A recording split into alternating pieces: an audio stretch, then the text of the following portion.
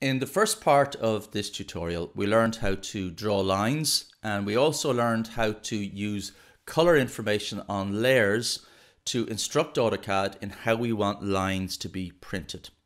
So um, we have all the information really that we need to do a very basic plan and that's what we're going to do now. Okay, so we're back in business again. Now this is where we left it last time. We had uh, five colored lines drawn and each of those colors was an instruction to AutoCAD and how we wanted the line to actually print in PDF. So, but we no longer need those. So what I can do is just, I just, just click my mouse down on the screen, drag a window across them. And I find the easiest way really then is just to hit delete. Just hit the delete button and they are gone. Now what we're going to do is, is we're going to go back up to our layer selection box and we're going to choose layer one, which is the red layer. Then we're going to draw a line. So I insert my first point. And what I'm going to do now is I want this line to be exactly two meters long. So I type in 2000 millimeters and then I accept it by pressing enter and then I hit escape. So now I'm out of the line function. Next thing I want to do is I want to draw a line which does not continue from the previous one, but is at a fixed point relative to it. How I do that is I make the line tool active again. Then I bring my cursor down to the endpoint of the last line, so I see the little green box. But instead of hitting enter, what I do now is I just type in 1000 and then with the polar tracking system obviously active, I click my first point one meter exactly from the end of my previous line.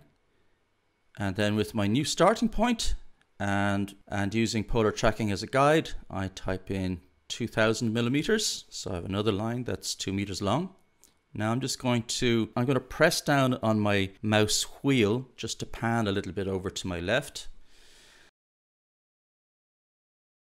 I'm going to draw a line, not beginning where the last line ended, but a meter away from the endpoint of that last line. So I let my cursor hover and without clicking anything, I just type in 1000 and then suddenly I find myself one meter away from the endpoint of the last line and I'm going to click accept for that, enter.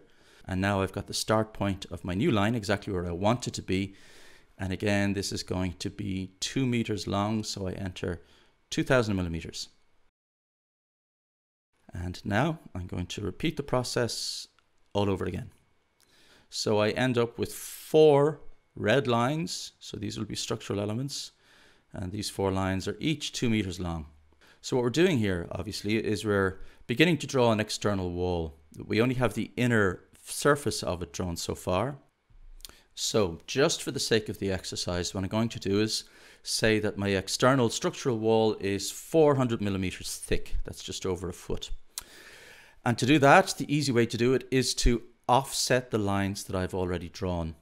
Now, I have two ways of doing this. I can go up to this little offset icon if I want to, which is just up here, and click on that, and it'll ask me what distance do I want to offset by, or I can type in the word offset. I can type in the command offset and it'll ask me the same thing. How much do you want to offset by? And I say 400 millimeters. So with the offset command active and the distance set the way I want it, AutoCAD asks me, okay, what would you like to offset? So I click on my red line here and I say, this is the thing I'd like. It says, which side do you want to offset to? And I go to the bottom of the page and click enter to accept.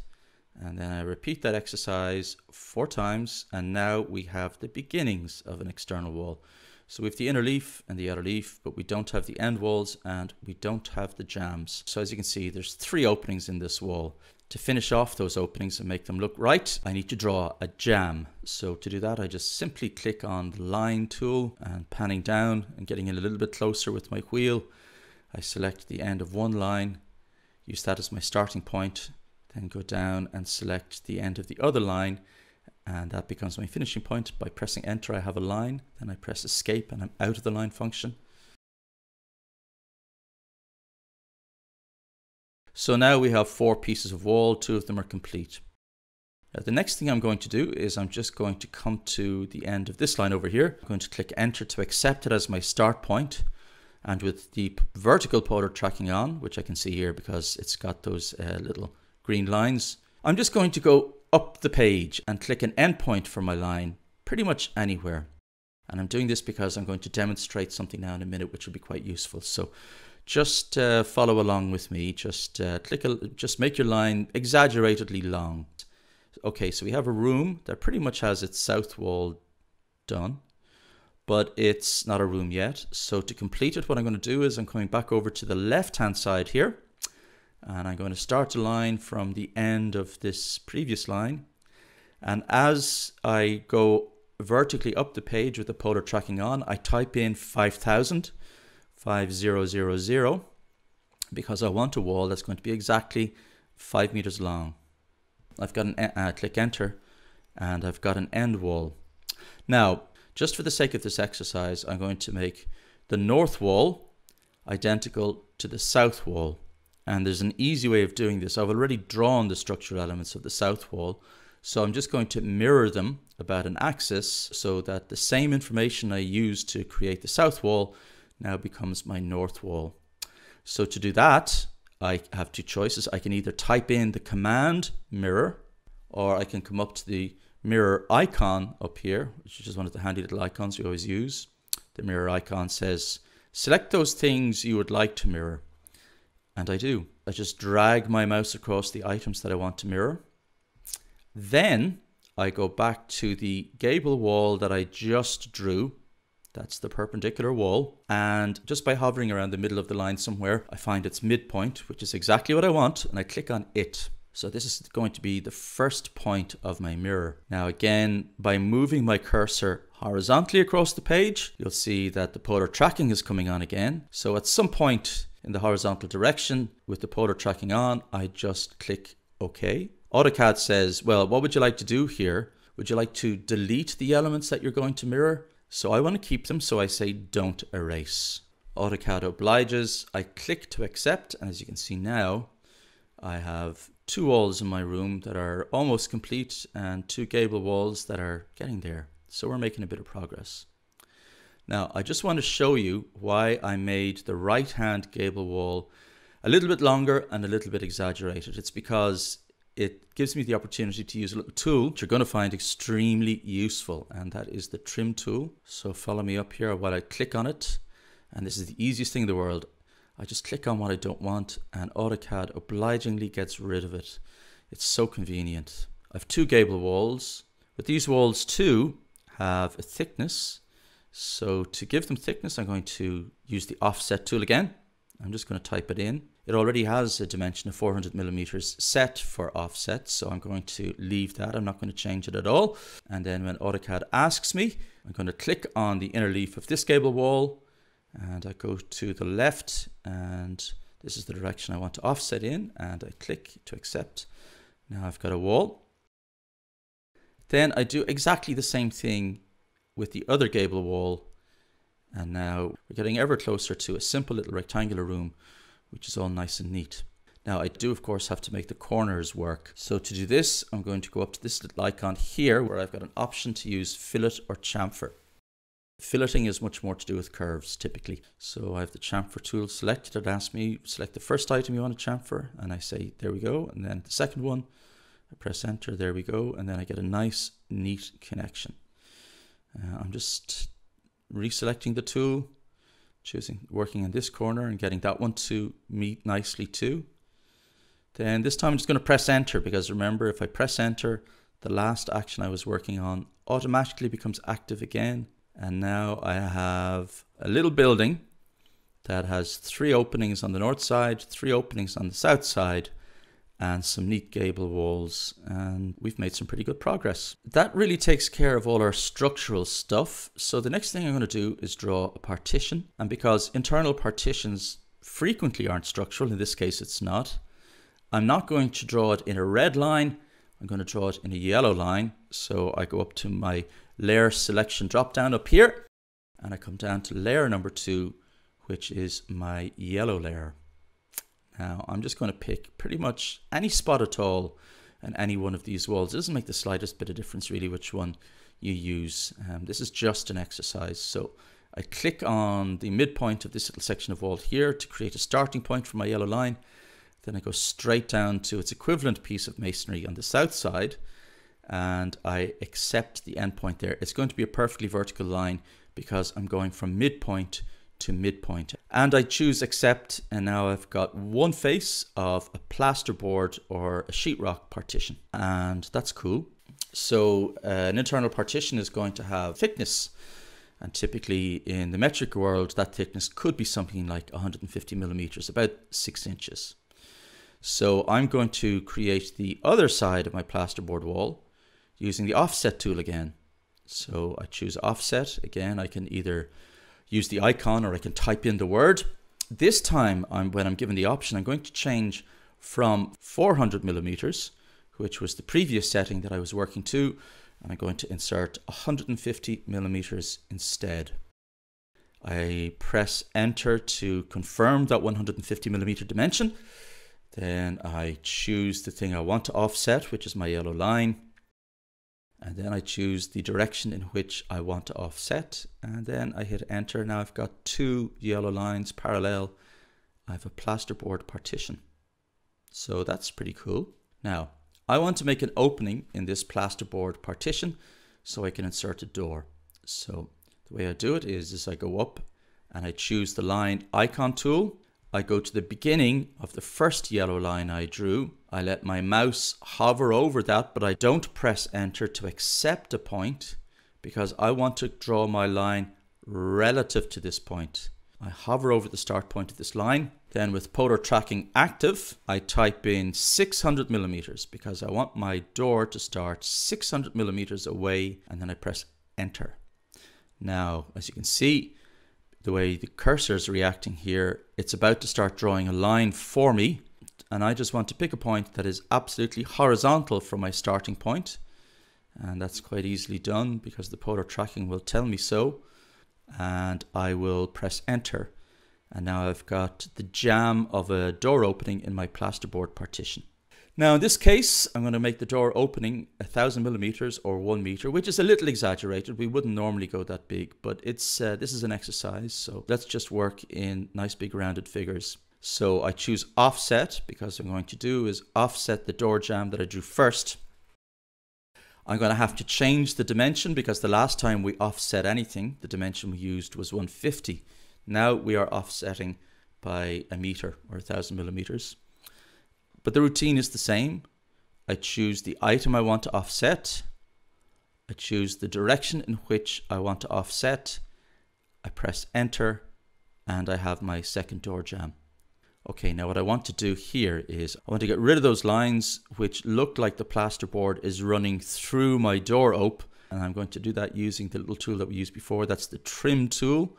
And this time I'm just going to click and drag and it gets rid of all of the geometry that I don't need. So now I have an opening for a door. We are making progress. Let's try a window. I'm probably going to print or render this drawing at about 1 to 100, maybe 1 to 200, but maybe 1 to 100, maybe 1 to 50. So I don't need to have the most detailed window you've ever seen.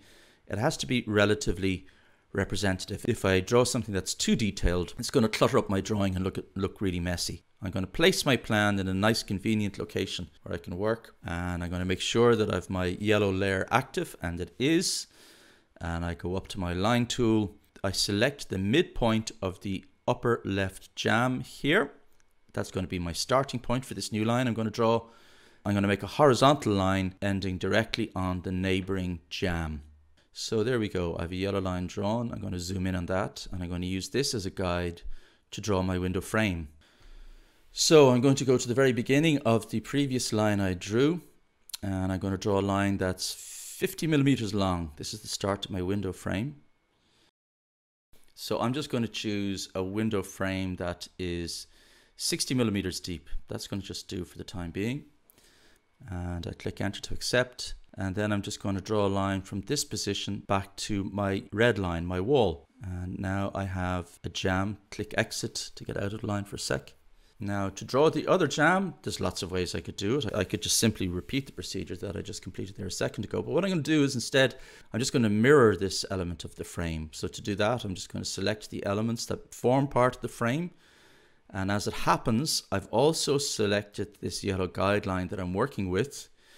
Now, the easy way to get rid of that is to press shift and click on it and it'll be removed from the selection. The only thing I'm going to mirror is that little element that I created to indicate a window frame. Now this is why I chose the yellow guideline. I'm going to choose the midpoint of that guideline and then with the polar tracking clearly on I'm going to move my cursor up my screen and click another point at random just so long as I know that it's vertical and then I tell AutoCAD that I want to keep the originals and it inserts the other part of the frame where I want it. Now I don't really want this original yellow line that was just for a guide so I'll get rid of that but I do want something to represent glass something that runs exactly from the middle of the left hand element of the frame to the middle of the right hand element of the frame. Now there is a convention in architecture that says when we're drawing glass in section we always draw two lines and that's fine. It dates back to when we used to draw by hand. Personally I think it's cleaner, neater and very obvious when we're working in AutoCAD or any other CAD package to represent glass with one medium weight line works perfectly well. So that's what I'm going to do here. So that's what that line you're looking at there represents. So now I've got my glass. Now what I want to do now is just fill in all the other bits that we associate with the window opening. And they're things that aren't cut in section, but which we can clearly see. So I go up to my layer selection, drop down. This time I'm going to choose the green layer because I'm going to draw a light line. First thing I draw is the interior sill. And I do that very simply just by going from the corner of one jamb to the corner of the other jamb. That's going to be my internal sill. Obviously, it might be a little bit more complicated. I'm actually looking at the window sills in this room and they're not like that at all, but it doesn't matter. We'll just show it like that for now. Then I'm going to show the rest of the window frame, the bit that I will see, but which will not be cut in section. So I uh, draw the inner line of the window frame, and then the outer line of the window frame and again I'm doing these in green because they're going to print light. I want to show the outer sill and to do this what I'm going to do is I'm going to go to the endpoint of one of my jambs and I'm going to hover over that endpoint and with the polar tracking clearly showing horizontal I'm going to type 50 so I'm going to choose a position relative to that corner as the start point for my first line then press enter. This is the start point of my new line and I'm going to make that line 50 millimeters so I type in 50 again. Now easiest way to do the next part of the exercise is to mirror this line because I'm going to need its twin on the other side of the jamb so I mirror this line uh, AutoCAD wants to know do I want to delete the element that I'm going to mirror I say no I want both of them and I press accept and now I've got the two ends of my outer sill all I have to do now is link them with the green line and I have a fairly convincing looking window which will work perfectly well at 1 to 100, 1 to 50, 1 to 200 or at 16th inch if we're working in Imperial.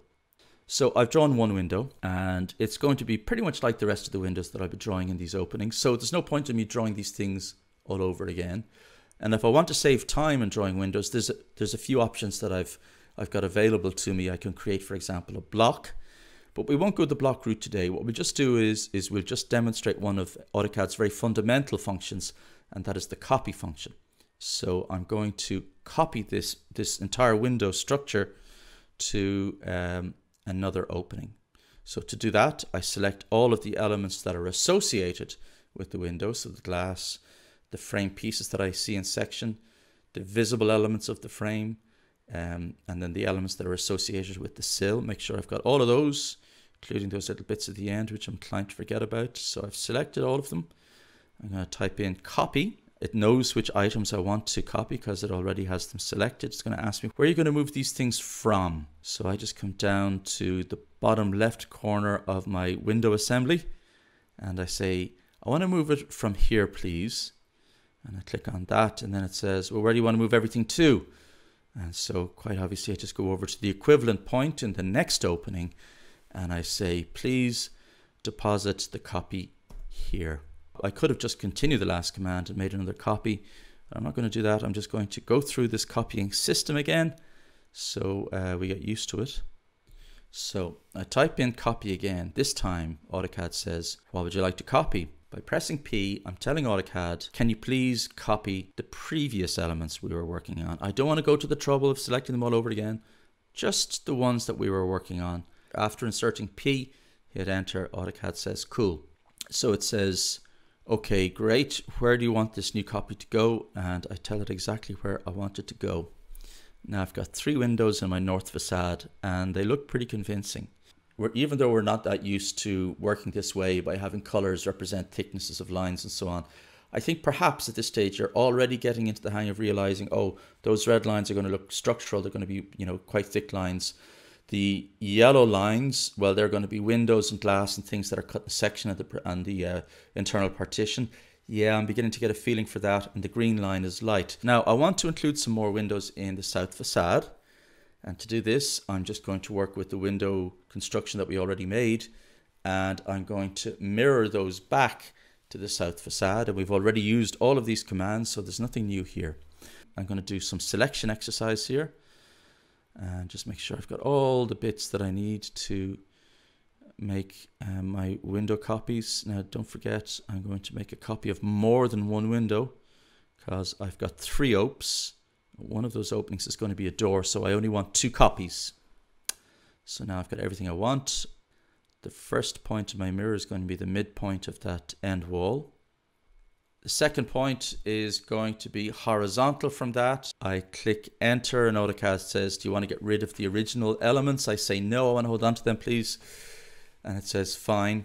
And then I click again and now I have five windows in five window openings. Uh, next thing I'm going to do is draw a door. So to draw the door, I'm going to go back up to my medium weight line and then I go over to my line tool I'm going to come down to this opening which does not have a window in it because this is my door opening. I'm going to start drawing at the midpoint of the right hand jamb. Polar tracking is on. I can see that. So I come north from my start point and I type in a dimension of one meter because remember these openings were one meter. To indicate this, that this is a door, I need to draw an arc to indicate the swing. So to do that, I'm going to go up to the arc icon, which is at the top of my workspace. Now the way I'm going to draw my arc is pretty much the way I always draw my arc. I'm going to choose the option that says center, start, end. So the center of my arc, where the door sits in its frame, so that's the center of my arc the start of my arc is the point directly opposite from it, and the end is the end of the door leaf. So that's the way I want my arc to swing. Now, obviously, I have started the exercise and you can see that AutoCAD is doing a perfectly legitimate job. It's creating, it's doing everything I want it to do, but it's exactly the opposite of what I need. So what I have to do is tell AutoCAD, oh, I don't want that version of the arc, I want the other version of the arc. So I hit control, and by hitting control, AutoCAD then says, oh, I see what you mean. So now I've got the arc I want, uh, but it's I have it in a medium weight line, which I don't want. This has to read light. So I'm going to go back up. Now, this is an interesting one. With that arc selected, as you can see with the little blue boxes, I'm going to go up to my layer selection tool then I'm going to drag down to the green layer. And because that item was selected as I performed the exercise of moving from one layer to the other, AutoCAD is going to bring that arc from one layer to the other layer. And so it'll end up being green. And I'll be very happy with that because that's the line weight I'm looking for. We have another door that we need to draw and we're just going to do the exact same exercise. We're going to draw a line from the middle of the jamb. I'm going, my polar tracking is on, so I'm going directly horizontal to the left. I want a door that's exactly a meter long, so I type in a thousand millimeters and I click OK. Happy with that. I need an arc. I'm going to use the center start end option as I always do. Now, you, you'll probably have a better or preferred way of drawing an arc. It's absolutely of no consequence at all which way you draw your arc. It's entirely up to you. So now we will draw this arc. Okay, so the center of my arc is going to be where the door meets the wall. The start of my arc is going to be the point directly opposite from that. And the end of my arc is going to be at the end of the door leaf. But as you can see, AutoCAD again presumes that it's the other arc that I want, the other version. And I have to hit control to say, no, not that one, the smaller one. It obligingly gives me the smaller arc, which I'm happy with. and I press enter and I accept it. But again, I, as you can see, it's in yellow, which means it's a medium weight line. And for something like this, I don't want a medium weight line. I want a lightweight line. So with the arc element selected, I go to the top of the sheet and I change from one layer to the other. And because I've got an element selected as I'm doing this, it automatically brings that element to the new layer. So it's going to make my arc green from yellow. And that's all right by me. Our little building isn't looking too bad here. It looks like a pretty convincing small rectangular building. Now, just for the sake of completion, we're going to do two other tiny little exercises that might be useful. We have set up thicknesses and line styles for cyan and for blue. So we're just going to show how they might be used. So now let's say this little space has a mezzanine directly above it. Uh, I can't see it in plan because it's not down here, it's above my head. How do I do it? Well, I used I use a cyan line, which when we print is going to look like a lightweight dashed line and people will go, that's a mezzanine. So we're going to do that now. And to do that, I'm going to go back up to my layer selection, drop down, choose cyan and choose my line tool. Now I'm going to come back into my little room here. It doesn't really matter where we start or where we finish here. This is just simply uh, for the sake of the exercise. As it happens, I'm going to choose the end of the window jamb and say, okay, my mezzanine extends right the way to the other wall in a perpendicular fashion. And I click escape once I have that line drawn. Happy with that, I have a mezzanine. How we get up there, uh, where the stairs is, that's a story for another day. Now I want to show how we can use our blue line. So let's just say in the room to, to the right, that's some kind of utility room. And in that utility room, we have a counter which has a countertop. So I'm going to draw that countertop using my green light line.